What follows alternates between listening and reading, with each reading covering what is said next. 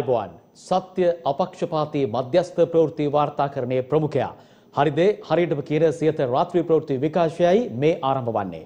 මම උදේශාන ඉඩම ගෙදර ප්‍රථමයෙන් අවධානය රාත්‍රී පුවත් සිරස්තල වෙත. පාස්කු ප්‍රහාරය පිළිබඳව ඇතමුන් හිටපු ජනාධිපතිවරයාට පමණක් චෝදනා එල්ල කරනවා. මේ ප්‍රහාරයට පසුගිය ආණ්ඩුවේ සියලු දෙනාම වගකිය යුතුයි. වත්මන් රජයට එල්ල කරන අසත්‍ය ප්‍රචාරයන්ට රැවටෙන්නත් එපා. ජනපති අවධාරණය කරයි. ශ්‍රී ලංකාව තුළ බුර්කාව තහනම් කිරීමට අදාළ කැබිනට් පත්‍රිකාවට ඇමති සරත් වීරසේකර අත්සන් තබයි. වර්තමාන අන්දරේලා බිලියන දහසේක සීනිකාලා ජේසීගෙන් චෝදනා සීනි වංචාවේ වැරදිකරුවන්ට දඩුවම් ලබා දිය යුතුයි ඇමති වාසු කියයි. දකුණු අප්‍රිකානු කොවිඩ් ප්‍රභේදය ශ්‍රී ලංකාවේ ව්‍යාප්තුව හොත් තවත් කොවිඩ් රැල්ලක් ඇතිවීමේ අවධානමක් ශ්‍රී ලංකා වෛද්‍ය සංගමය පවසයි. ශ්‍රී ලංකාව තුළ තුන්වන කොවිඩ් රැල්ලක අවධානමක් මහජන සෞඛ්‍ය පරීක්ෂකවරුණුත් පෙන්වා දෙයි. කොවිඩ් මර්ධන එන්නත ලබාගත් මන්ත්‍රී හලීම්ටත් කොරෝනා. මෙරට අධ්‍යාපනය පිරිහිලා ගුරු සංගම්වලින් චෝදනා. රාත්‍රී ප්‍රවෘත්ති තුළින් ප්‍රථමයෙන් අවධානය දේශීය පුවත් වෙත. ජනාධිපති ගෝඨාභය රාජපක්ෂ මහතාගේ ප්‍රධානත්වයෙන් පැවැත්වෙන ගම සමග පිළිසඳර වැඩසටහන් මාලාවේ දා හතරවැන්න අද ගාල්ල හික්කඩුව ගලගොඩ ප්‍රදේශය කේන්ද්‍ර කරගනිමින් පැවැත්වුණා. විවිධ චෝදනා අපේ රජයට එල්ලලා තිබෙන. ජනතාවට බොරු මත ශාල වශයෙන් විපක්ෂය විසින් අරගෙනනවා. නිතරම කතා කරපු දෙයක් තමයි මේ පාස්කු ඉරිදා ප්‍රහාරය ගැන. එක්තරා විරුද්ධ පක්ෂ මන්ත්‍රීවරයෙක් චෝදනා කල්ලා තිබුණා මේක පිටිපස්සේ ඉන්නේ මමත් බැසිල් රාජපක්ෂ මැත්තුමත් නිස්සංක සේනාධිපති ඇත්තුමත් කිය. මම CID එකට කිව්වා දැ මේ අමේ තියෙන තොරතුරු ඔගුල අරගණ්ඩ. මන්ත්‍රීතුමාට එන්ඩ කියලා කිව්ව ඔබ දන්න තොරතුරු කියන්න. තොරතුරු වසන් කිරීම එක සාපරාධි ක්‍රියාවක්. ඉදි මේ තොරතුරු හන්ඩ ගයාම මන්ත්‍රීතුමා කියනවා නෑ මට සිය නැති වුණා මට අමතක වුණා එහෙම තොරතුරත් දන්නේ නෑ එම කියල කියන. තින ඔය වගේ තමයි අමතක වෙන දන්නේ නැති සිහි නැතින මේ තොරතුරු තමයි ජනතාවට ගෙනත් දෙන්නේ. අපි ඕක ඇහුවේ නැත්තං ඕක ජනගත වෙනවා. ඔය වගේ අභූත චෝදනා තමයි විපක්ෂය හැමතිස්සම ගේන්නේ. අභූත චෝදනා. මේක දේශපාලනය ගාවගන්න පුළුවන් දෙයක් නෙවෙයි. මේක ජාතික ප්‍රශ්නයක්. එවැනි ජාතික ප්‍රශ්නයකදිත්. මේ වගේ අභූත චෝදනා විපක්ෂය නගනව නම් තමුන්වන්සලාට හිතාගන්න පුළුවන් අනිත්තේව ගැන කොහොමද චෝදනාද නගන්න කියලා. විපක්ෂයක් හැටියට චෝදන අනගන්න පුළුවන් තියෙන රජයට නමුත් ඒවා සත්‍යය තොරතුරු වෙන්න ඕන. ජනතාව මුලා කරන තොරතුරු වෙන එක හොඳ නැහැ. රජයක් හැටියට අපි දුර්වලලා තනක් තමයි මේවා ජනතාවට ගෙනීමට හරියට අපි ඉදිරිපත් වෙලා නැති එක. ජනතාව දැනුවත් කරන්න මේ අභිවෘත චෝදනාග. විවිධ අභූත චෝදනාවලට රැවටෙන්න්නට එපා. විශේෂෙන්ම ජාතික ආරක්ෂාව පිළිබඳ බලන්න මේ කොමිෂන් සභා වාර්තාව පාස්කුවිරි. මේක හැම තැනකම තියෙන්නේ. පුනපුනා කියනවා ගිය පසුගිය රජය ජාතික ආරක්ෂාව වෙනුවෙන් කිසිම තැකීමක් කළේ නෑ ඒකයි මේ පහරදීමට හේතු ඇත්ත. අපේ රජය යටතේ බෙදුම්වාදී අන්තවාදයටවත් එම නැත්තම් ඉස්ලාම් ආගමවාදී අන්තවාදයටත් අපි ඉඩ දෙන්නේ නෑ. සමහර අය මේ කාර්යේදී රජයක් හැටියට ඒවා අතපසු කල්ලා දැන් සා ගන්නවා හිටපු ජනාධිපතිතුමාට විතරක් මේක පටවන්නට.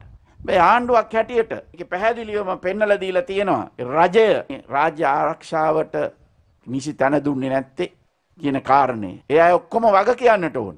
ඒ ආණ්ඩුව හිටපු අය. බුර්කාව එසෙත් නැතිනම් හිජාබය තහනම් කිරීමට අදාළ ගැසට් පත්‍රිකාව සඳහා අත්සන් කළ බව අමාත්‍ය සරත් වීරසේකර මහතා පවසනවා.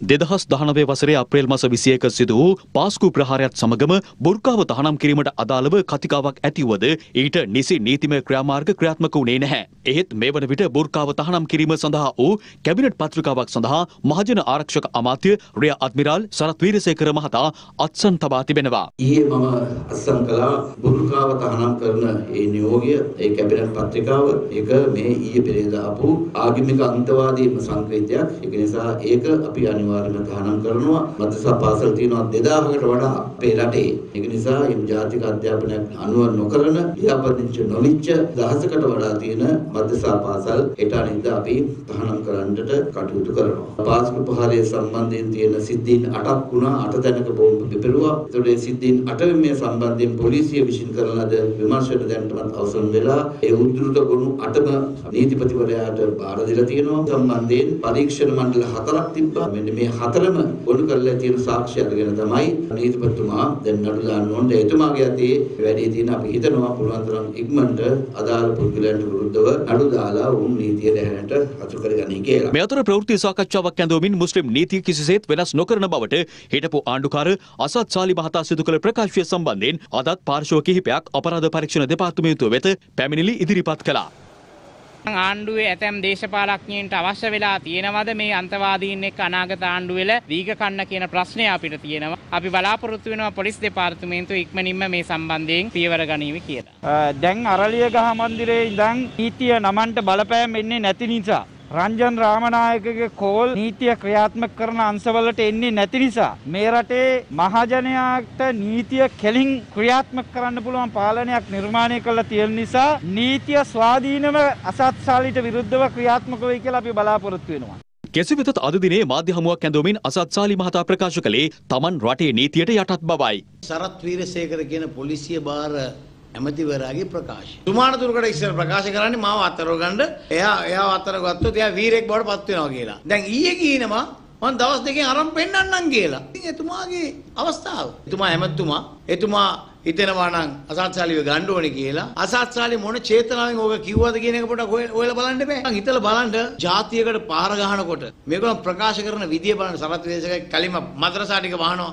පල්ලි ටික වහනවා පුරුකා තානම් කරනවා. දැන් ඕම කතා කරන එක නෙවෙයි ඔක්කොමත් එක්ක සාකච්ඡා කරලා. ජාතිය අපිත් එක්ක ජීවත් වෙන්න ඕනේ. අපි මේකට මොකද්ද විසඳුම් කියලා ඇහුවනම් අපි දෙනවා උපදේශ පාරම්පරික මුස්ලිම් කතා කරලා ඔක්කොම වාඩි කරලා තීන්දුව తీරන ගන්න ජාතියකට ඕම පාර ගන්න එපා මේ අතර වහබ්වාදී සහ ජිහාඩ් මතවාද පැතිරවීම සම්බන්ධයෙන් අත්තරංගොඩගත් ජමාතේ ඊ ඉස්ලාමීය සංවිධානයේ හිටපු සභාපති රාෂිඩ් හාජුල් අක්බර් නැමැත්තා ත්‍රස්ත විමර්ශන කොට්ටාශය මගින් රඳවාගෙන ප්‍රශ්න කරන බවයි පොලිස් මාධ්‍ය ප්‍රකාශක නියෝජ්‍ය පොලිස්පති අජිත් රෝහණ මහතා ප්‍රකාශ කළේ. මේ අතර ත්‍රස්තවාදය වැළැක්වීමේ පනත යටතේ අත්තරංගුවට ගන්නා ආගමික අන්තවාදී ක්‍රියාකාරකම් වල නිරත වන පුද්ගලයින් පුනරුත්ථාපනය කිරීම සඳහා නව රෙගුලාසි සහිත ගැසට් නිවේදනයක් නිකුත් කර තිබෙනවා. එක්දහස් නොවසේ හැත්තෑ නවය අංක හතරිස් අට දරන ත්‍රස්තුවාදය වැළැක්වීමේ තාවකාලික විධවිධාන පනත යටතේ අදල් නියෝගය ලබාදී ඇති බව සඳහන්. එම නියෝගවලට අනුව දැඩි අන්තවාදී ආගමික මතවාද දැරීම සම්බන්ධයෙන් ආරක්ෂක අංශ වෙත භාරවන හෝ අත්අඩංගුවට ගන්නා පුද්ගලයින් වසරකට නොඅඩු කාලයක් මධ්‍යස්ථානයක් තුළ පුනරුත්ථාපනයට ලක් කිරීමට හැකියාව පවතිනවා. ඒ සඳහා නීතිපතිවරයා විසින් මහේස්ත්‍රාත්වරයෙකු වෙත ඉදිරිපත් කළ නියෝගයක් ලබාගත යුතු බවද අදාළ ගැසට් පත්‍රයේ සඳහන් වනවා. සීක්‍ර ව්‍යාප්තියක් සහිත දකුණු අප්‍රිකානු කොවිඩ් ප්‍රභේදය ශ්‍රී ලංකාව තුළ ව්‍යාප්තුව හොත් රට තුළ තවත් කොවිඩ් රැල්ලක් ඇතිවීමේ අවධානමක් පවතින බව ශ්‍රී ලංකා වෛද්‍ය සංගමේ සභාපතිනි වෛද්‍ය පත්මා ගුණරත්න මහත්මිය පවසනවා. ඒ සියත ප්‍රවෘත්තියංශය කළ විමසීමකදී. සීක්‍ර ව්‍යාප්තියක් සහිත දකුණු අප්‍රිකාවේ පැතිරයමින් පවතින නව කොවිඩ් වෛරස් ප්‍රභේදය ආසාධනය වූ පුද්ගලයෙකු පළමුවරට මෙරටින් හඳුනාගෙන ඇති බව ඊයේ දින වාර්තා වූ අතර අදාළ ආසාධිත පුද්ගලයා නිරෝධායන මධ්‍යස්ථානයක නිරෝධායන වෙමින් සිටි පුද්ගලයෙකු බවටයි සෞඛ්‍යංශ තහවුරු කළේ. මේ අතර අදාළ වෛරසය මෙතෙක් සමාජය තුළ පැතිර නොතිබුණද යම් ආකාරයකින් ශ්‍රී ලංකාව තුළ ව්‍යාප්ත වුවහොත් නව කොවිඩ් රැල්ලක් රට තුළ පැතිරීමේ අවධානමක් පවතින බව ශ්‍රී ලංකා වෛද්‍ය සංගමේ සභාපතිනි වෛද්‍ය පත්මා ගුණරත්න මහත්මිය සියත අප කළ විමසීමකදී ප්‍රකාශ කළා. ඇය සඳහන් කර සිටියේ මීට පෙර COVID-19 වෛරසය ආසාදනය වී සොය ලැබූ පුද්ගලයෙකුට උවත දකුණු අප්‍රිකානු ප්‍රභේදය ආසාදනය විය හැකි බවයි. අදාළ වෛරස් ප්‍රභේදයේ ආසාදිතෙකු හමුවීමත් සමග එන්නත් කරණය පිළිබඳවත් සමාජය තුළ දැඩි කතාබහක් ඇතිව තිබෙනවා. මේ වන විට ශ්‍රී ලංකාව තුළ භාවිතයට ගැනෙන ඔක්ස්ෆර්ඩ් ඇස්ට්‍රාසෙනිකා කොවිශීල්ඩ් එන්නත දකුණු අප්‍රිකානු කොවිඩ් ප්‍රභේදය පාලනය කිරීම සඳහා ප්‍රමාණවත් නොවන බවයි වෛද්‍ය පත්මා ගුණරත්න මහත්මිය වැඩිදුරටත් සඳහන් කළේ. මේ අතර පවතින තත්වය හමුවේ ශ්‍රී ලංකාව තුළ තුන්වන කොවිඩ් රැල්ලක අවධානමක් මතුව ඇති බවටයි මහජන සෞඛ්‍ය පරීක්ෂකවරුන්ගේ සංකමය අනතුරු අඟවන්නේ. සංචරණ සීමා සාමාන්‍ය පරිදි රට තුළ ක්‍රියාත්මක වෙනවා. මේ තත්ත්වය හමුවේ තමයි අපි පාස්කු උත්සවය සහ නව අලුත් අවුරුදු උත්සවය සමරන්න සැරසෙන්නේ. අපි මේ මොහොතේ අනතුරු අඟවනවා. ඉදිරියේදී එන පාස්කු උත්සවය සහ අලුත් අවුරුද්ද සඳහා රජය සහ සෞඛ්‍ය අමාත්‍යාංශය නිසි මාර්ගෝපදේශ හදලා කටයුතු කරේ නැත්නම් අපිට අලුත් අවුරුද්දෙන් පස්සේ තුන්වෙනි කොවිඩ් රැල්ලක අ, මහා ව්‍යසනයකට මුහුණ දෙන්න සිද්ධ වෙයි කියන එක සම්බන්ධව අපි අනතුරු අඟවනවා. මහනුවර දිස්ත්‍රික් පාර්ලිමේන්තු මන්ත්‍රී අබ්දුල් හලීම් මහතාද කොවිඩ් ආසාදිතයෙකු බවට තහවුරු වී ඇති බව වාර්තා වනවා. සිදු කළ රැපිඩ් ඇන්ටිජන් පරීක්ෂණයකදී මන්ත්‍රීවරයා කොවිඩ් ආසාදිතයෙකු ලෙස තහවුරු වී ඇති අතර ඒ අනුව මෙරට පාර්ලිමේන්තුවේ කොවිඩ් වෛරසය ආසාදනය වූ අටවන මන්ත්‍රීවරයා වන්නේ ඔහුයි. මන්ත්‍රීවරයා පසුගිය සතියේ නාරායන් පිට පිහිටි යුද හමුදා රෝහලේදී COVID-19 මර්ධනය සඳහා ලබා දෙන ඔක්ස්ෆර්ඩ් ඇස්ට්‍රාසෙනිකා එන්නතද ලබාගෙන තිබෙනවා. කෙසේ වෙතත් මන්ත්‍රීවරයාට PCR පරීක්ෂණයක් සඳහා යොමු වන ලෙසටයි සෞඛ්‍යංශ උපදෙස් ලබා දී ඇත්තේ. ඔක්ස්ෆර්ඩ් ඇස්ට්‍රාසෙනිකා කොවිඩ් මර්ධන එන්නත තහනම් කිරීමේ අවශ්‍යතාවක් නොමැති බව ලෝක සෞඛ්‍ය සංවිධානය පවසනවා. ඒ රටවල් කිහිපයක් මෙම එන්නත භාවිතය අත්තිටුවීමට තීරණය කර ඇති පසුබිමකයි. ඩෙන්මාකිය බල්ගේරියාව නෝර්වේ ඇතුළු යුරෝප රටවල් කිහිපයක් මෙම එන්නත භාවිතය අත්හිටුවා ඇත්තේ රුදිර කැටිගැසීමේ සිදුවීම් කිහිපයක් වාර්තා වී ඇති බව පවසමින්. කෙසේ වෙතත් ලෝක සෞඛ්‍ය සංවිධානය පවසන්නේ ඔක්ස්ෆර්ඩ් ඇස්ට්‍රාසනිකා කොවිඩ් මර්ධන එන්නත භාවිතයෙන් රුදිර කැටි ඇතිවිය හැකි බවට කිසිදු පිළිගත හැකි සාක්ෂයක් නොමැති බවයි. එබැවින් එම එන්නත භාවිතයෙන් ඉවත් කිරීමට හෝ අත්හිටුවීමට ඇතැම් රටවල් ගෙන ඇති පියවර අනුමත නොකරන බවද ඔවුන් පවසනවා. මේ අතර ඇස්ට්‍රාසනිකා එන්නතේ රුදිර කැටිගැසීම් පිළිබඳ කිසිදු සිද්ධියක් මෙතෙක් වාර්තා වී නොමැති නමුත් එළමෙන සතියේ එම එන්නතේ අතුරු ආබාධ පිළිබඳව ඉන්දියාව විසින් ගැඹුරු සමාලෝචනයක් සිදු කිරීමට තීරණය කර තිබෙනවා. ආණ්ඩුව ගජමිතුරන් පිනදීම සඳහා මහා පරිමාණ සීනි වංචාවකට දොර විවර කර ඇති බව විපක්ෂ නායක සජිත් ප්‍රේමදාස මහතා පවසනවා. විපක්ෂ නායකවරයා මේ බව ප්‍රකාශ කළේ කතරගම ප්‍රදේශයේ පැවති මාධ්‍ය හමුවකදී. එමෙන්ම දේශපාලඥයින් සහ තවත් පාර්ශව රැසක් සීනි බදු වංචාව සම්බන්ධයෙන් අද දවසේත් අදහස් පළ කළා. බදු සූදුවකින් මේ හොරා කෑම කරේ. කෝටි එක්දහස් පන්සි අනුවකින් අපේ රටේ ලක්ෂ දෙසිය විස්සක් වූ ජනතාව එන්නත් මාත්‍රා ලක්ෂ හාරසිය හතලියක් අවශ්‍ය වෙන. ඒ ටික අරන් දෙන්න තිබුණනේ අදටත් අපේ රටට අවශ්‍ය එන්නත් ප්‍රමාණය ගන්නට බැරි ආණ්ඩුවක් මේ රටේ තියෙන. පාලකයෝයි ගජමිතුරොයි දෙගොල්ලොම එකට හවුල් වෙලා කෝටි එක්දහස් පන්සි අනුව ගසා කාලත. එහෙම ලොස් එකක් නැහැ. ඔය කියන කට්ටිය මේක පාඩුයි කියන කට්ටිය මේක 725 තියෙන තාක්කල් පාඩුයි. ආණ්ඩුවට සම්පූර්ණ අයිතිය තියෙනවා මහජනතාව වෙනුවෙන් බදු වෙනස් කරන්න. එතකොට වැට් එකත් අඩු කළා අපි. ඒකත් එතකොට රෙවෙනියු එකක් අඩු වෙලා හැටි. සීනි විකුණනාය කළේ මොකද ඒ අපි අඩු කරපු බද්ද ඒගොල්ලන්ගේ සාක්කුවේ දාගත්තා. ඒක එක්තරා විදිහක නීති විරෝධී වැඩක්. ඒ නිසා මේ පිළිබඳව ආණ්ඩුවට වෙච්ච අලාභය ජනතාවට වෙච්ච අලාභය මේ ගැන මොවුන්ට විරුද්ධව ක්‍රියා කරන නීතියක් අපි හොයාගත යුතුයි නැත්නම් හදාගත යුතුයි. දැන් ඒ අන්දරේ සීනිකෑව කියන කතාව කවුරුත් දන්න කතාවක්නේ. එමනම් අද අන්දරේටත් හපන් වර්තමාන මේ යුගයේ ඉන්න අන්දරේලා බිලියන 16ක සීනි කාලා තියෙනවා. එහෙනම් ජනතාවගේ බදු ජනතාවගේ මුදල් බිලියන 16ක රුපියල් බිලියන 16ක සීනි කාපු අන්දරේලා තමයි අද මේ රජයේ ඉන්නේ කියන එක අපි පැහැදිලිවම මතක් කරන්න ඕනේ. සීනි පිළිබඳව ප්‍රශ්නයක් වෙලා තියෙනවා නම් හොඳට මතක තියාගන්න ජනාධිපතිතුමත් ගරු අගමැතිතුමත් බැසිල් රාජපක්ෂ මැතිතුමත් ඉන්න තාක්කල් හොරුන්ට වංචාකාරීන්ට දූෂකයින්ට මේ රටේ ඉඩක් නැහැ. මේක මහා බැංකු මංකොල්ලයටත් වඩා දෙගුණයක් තෙගුණයක් වෙන කෝටි ප්‍රකෝටි ගාණක් මේ රට අහිමි කරපු වංචාවක්. සීනිම විකුණීම සඳහා යෙදවෙන සමාගම් කීපයක් තියෙනවා. ඒව අතර මේක ගියාද කියන කාරණේ මේක හොයන්න විගණකාධිපති මගින් කරන්න ඕනේ.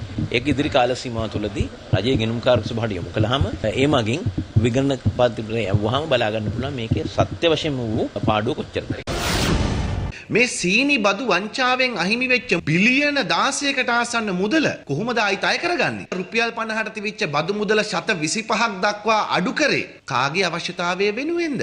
හරියටම සැලසුම් කරලා දොර ඇරලා දීලා හොරකම් කරා කරගන්න ඉඩ දීලා මේ ආණ්ඩුව බලාගෙන ඉඳලා තියෙනවා. බදු මුදල් අඩු කරලා මේ රටේ ජනතාවට සහන ලබා දෙන්න කටයුතු කරද්දී යම් ව්‍යාපාරික කොටසක් ඉඳලා ඒකේ ලාභය ලබලා ජනතාවට සහන ලබා දෙන්නේ නැත්නම් රජයක් හැටියටත් අපි අධිකරණය දැන් නඩුවකුත් විභාග වෙමින් පවතිනවා. අපි හිතනවා මේ සාධාරණ ජනතාව ඉෂ්ට කරන්න කවුරු කටයුතු කරත් ඒක සාධාරණයි. මේ ගජමිතුරන්ගෙන් සීනි කාපු අය අද පක්ෂ විපක්ෂ දෙකේම ඉන්න බවත් අපි මතක තබා ගත යුතුයි. මේ සීනි ගජමිතුරන්ගේ සහායෙන් වරදාන වරප්‍රසාද ලබාගත් අය එල්ලිදරව් කිරීම දැන් සිදුවිය යුතු කාරණා. මේ වංචනිකයෝ අද අර්ජුන ඇලෝසියස් වාගේම හැමෝම බෙදා හදාගෙන කෑම මගින් මේ සිද්ධිය යටපත් කරන්න පුළුවන් කියලා හිතන මානසිකත්වයකට පත් වෙලා තියෙනවා. පසුගිය දින කිහිපයේදී පාසල් සිසු සිසුවියන් අතර සිදු වූ ගැටුම් වලින් පෙනී යන්නේ මෙරට අධ්‍යාපනයේ පිරිහීමකට ලක් වී ඇති බව ලංකා ගුරු සංගමේ ලේකම් ජෝසප් ස්ටාලින් මහතා පවසනවා. ඒ කොළඹදී මාධ්‍ය හමුවක් කැඳවමින් සාමාන්‍ය පෙළ විභාගයේ අවසන් වීමත් සමගම අපි දැකපු කාරණාවක් තමයි විශේෂයෙන්ම ළමයි අතර බරපතල ආකාරයේ ගැටුම් ඒ වගේම විවිධ ඉන්සනයන් සියල්ල අපි දැක්කා සමාජ මාධ්‍යවල ප්‍රධාන මාධ්‍යවල අපි දැකපු කාරණාවක් තමයි මේ මේ විභාගයේදී වැඩිම පාසල් අතර විවිධාකාර ගැටුම් ඇති වුණු මේ මේ විභාගය තමයි. ඇතරම අධ්‍යාපනය තුළ බරපතල පිරිහීමක් තමයි මේ මේක පේන්නේ. ඇතර මේක වගකීම අපි දකින එක පැත්තියෙන් ගුරුවරුන්ටත් තියෙනවා අපි නෑ කියන්න විදුවල්පතිවරුන්ට ඒ වගේම විශේෂයෙන්ම අධ්‍යාපන පද්ධතියට. ඉතින් මේකට අධ්‍යාපන අමාත්‍යාංශය නිශ්චිත වැඩපිළිවෙලක් ගේන්න ඕනේ. මොකද දැන් දැන් අපිට වුණා ඇත්තටම විභාගයේදී විශේෂයෙන්ම විභාගයේ අවසානයේදී පොලිසිය ගේන්න සෑම විභාග මධ්‍යස්ථානයකට. මොකද විභාගයේ අවසාන වෙලා ළමයි ගෙදර යවන්න පොලිසිය ගේන්න ඕන තත්ත්වයක් නිර්මාණය වෙනවා නම් රටේ ඒක අධ්‍යාපනය සම්බන්ධයෙන් බරපතල ප්‍රශ්නයක් මේක. ඉතින් මේක මේ සම්බන්ධයෙන් අපි ඉල්ලීමක් කරන අධ්‍යාපන අමාත්‍යාංශයට ළමයින්ට මේ තත්ත්වයෙන් වැළක්වීම සඳහා අධ්‍යාපනික වැඩපිළිවෙලක් හදන්න ඕනේ කියන කාරණාව. දුමතරමේ ඊළඟ විභාගයේදීවත් පොලිසියෙන් ගෙන්නන එක නවත්තන්න වැඩපිළිවෙලක් අපි කරන්න ඕනේ. මොකද අධ්‍යාපන බලධාරීන් එදි වගේම අධ්‍යාපනඥයෝ ජාතික අධ්‍යාපන ඇතුළු සියලුම ආයතන මේ කාරණාව පිළිබඳ සුළු කොට තැකිය නොයුතුයි කියලා අපි විශ්වාස කරන්නේ. මොකද අපි දැක්ක සමහර සැරිසරන වීඩියෝ වල බාලිකාවන් ඉතාම ප්‍රචණ්ඩ ආකාරයෙන් ඇසිරෙන ආකාරය පවා අපි දැක්කා. එතකොට මේවා තුල වෙන්නේ ලංකාවේ අධ්‍යාපන පද්ධතිය පිරීම පෙන්눔 වෙන්නේ. ඉතින් ඒකට ඒක නිසා අපි ඉල්ලීමක් කරන අධ්‍යාපන අමාත්‍යාංශයෙන් මේ සම්බන්ධයෙන් වෙන වෛද්‍යාංශ ඒ වගේම වෙනකුත් වෙනත් පාර්ශවයන් එක්ක පාසල් පද්ධතියට වළක්වීම සඳහා වැඩපිළිවෙලක් හදන්න. මොකද ඉදිරියේදී උසස් පෙළ විභාගෙත් එනවා. මේ තත්ත්වයන් වහම වැළැක්විය යුතුයි මොකද සමහර පාර්ශවයන් අපි දැක්ක ඉතාම නරක විදියට මේ ළමයින්වත් විවේචනය කරන තත්ත්වයක ඉන්නේ. අපි ළමයින්ට චෝදනා කරලා වැඩක් නැහැ මේකෙදී. මොකද ඒගොල්ලෝ ළමයි. ඒක නිසා ළමයින්ව ආරක්ෂා කර ගැනීම වගකීම තියෙන්නේ වැඩිහිටියන්ට. ඒක නිසා අපි ඉල්ලීමක් කරනවා මේ සම්බන්ධයෙන් විශේෂ මැදිහත් වීමක් කරන්න කියලා. අපේ රටට ඊයේත් ප්‍රශ්නයක් වුණු අදත් ප්‍රශ්නයක් වූ හෙටත් ප්‍රශ්නයක් වෙතැයි විශ්වාස කළ හැකි අලි මිනිස් ගැටුම තවමත් අවසන් කරන්නට හැකියාවක් ලැබී නැහැ. මේ අලි මිනිස් ගැටුම පිළිබඳ තවත් තොරතුරු. බොහෝ කලක් සිට පවතින එහෙත් තවමත් විසඳුම් සොයා ගැනීමට නොහැකි වී ඇති ප්‍රශ්න අතර අලිමිනිස් ගැටුම අපට නම් කරන්නට පුළුවන්. විවිධාකාරයේ යෝජනා අදහස් ඉදිරිපත් වුණත් මේවා ප්‍රායෝගිකව ක්‍රියාත්මක කිරීමේදී පවතින විවිධ අඩුපාඩු සහ ඉතා මන්දගාමී ක්‍රියාපිළිවෙත් හේතුවෙන් අලිමිනිස් ගැටුම වර්ධනය වෙමින් පවතිනවා මිසක් එය අඩුවන ආකාරයක් නම් දක්නට ලැබෙන්නේ නැහැ.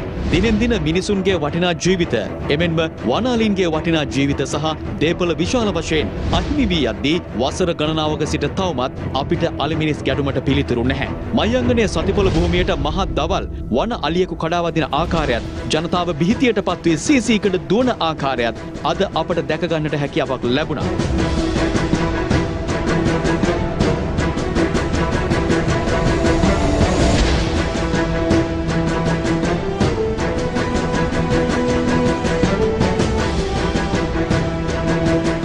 සිදුවන්නට ගිය මහා විනාශයක් නූලෙන් බේරුණු බව සතිපොලට පැමිණ සිටි ජනතාව පවසනවා. තාත්තට එහා පැත්තෙන් ආවේ. ඇවිල්ලා මෙතනින් ඇවිල්ලා. ආ මෙතනින් ගියේ. ඔව් මෙතනින් ගියේ. අපි අතන මේසේ හිටියේ. තාත්තට තනියලියෙක්. ඔව් තනියලිය ඔව්. අලි යනකොට පණ කඩන් දීවා හරියට. අලියා කොහෙන් එනවද කියලා හිතන්නවත් බැරි තරම් ඌ දුවගෙන. මේක මැද්දෙන් ආවනම් එහෙම මේ මිනිස්සු ඔක්කොම මැරෙනවා එහා පැත්තේ මිනිස්සු. අතන වැටුණා මේ මහත්තයා මං ගියා ප්‍රෙෂර්ද කියලා බලන්න එපරකෝ මුකුත් නැහැ කියලා. තය භාගයක් විතර එයා ගැහි ගැහි හිටියා. මං නම් මේ රෙදි ගොඩේ යන් ගෙන්න ගියේ එයා පැත්තට අලියා මේ පැත්තට හැරුණා නම් ඒ. අලියා දැන් මෙතනින් දිව්වේ. අපි ඉතින් ඔක්කොම පැත්තෙන් මෙහෙට දිව්වා. ආපු ගම මෙහෙම ගම්පුදා ඇතුළට ගියා. අලි. ටෙලික පැත්තේ ආපු එක බලන්න මිනිස්සුන්ට කරදරයක් නැතුව ගියේ ඒක ලොකු දෙයක්. රජය බලනවා බලනවා කියන මොනවද බලන්නේ ඔය? සම්පූර්ණම අලි 25ක් 30ක් මේ ගඟේ ඉන්නවා. කීප දෙනෙක් ආවනම් එහෙම කිසිම හොඳ බේරීමක් නැහැ. මේක ඇත්තටම මේ රජයේ නිලධාරීන් බලලා මේ වගේ මොනවා හරි විසඳුමක් ගන්නවා නම් ඉතාමත් වැදගත්.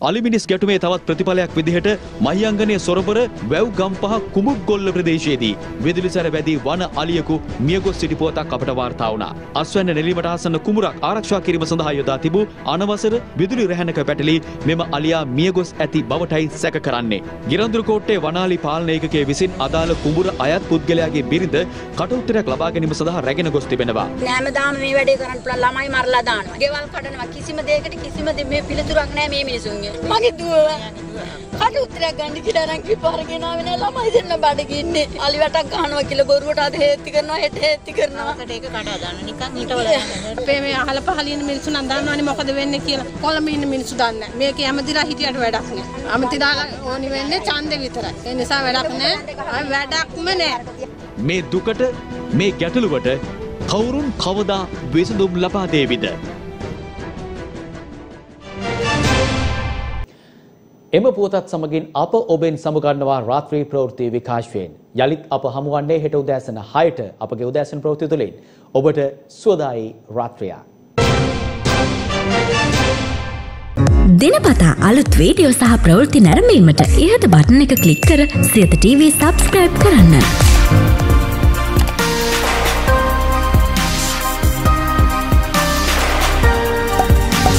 වීඩියෝ ගැන මුලින්ම දැනගන්න මෙම සීනෝ කලික් කරන්න.